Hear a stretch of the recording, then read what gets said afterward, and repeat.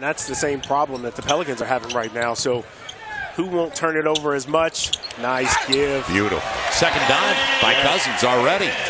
Does what they do. This could be a good opportunity to get a win.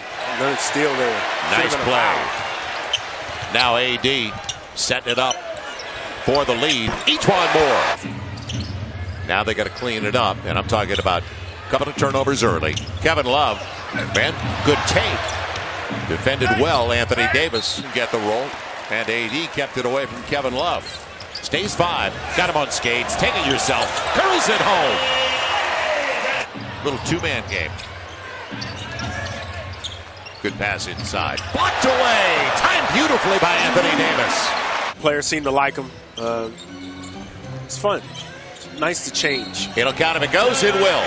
On the hold by Tristan Thompson. Staff. Well, it, even though even though Cleveland has Back to an eight-point game. Ian Clark wanted Cousins. It'll be AD. Corner three. Got it. And a real good look. Cousins right by Love. It'll be Anthony. Saw that coming. And I think Cousins liked it more.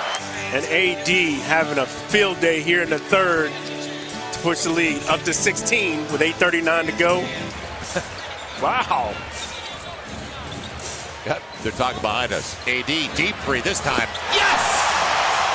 Keep it up. One oh Like 12 in a row. And he's chirping now. Spectacular. All he did was throw a simple bounce pass right where the where E'Twaun needed it so he could score. Holiday poked it away from Channing Frye.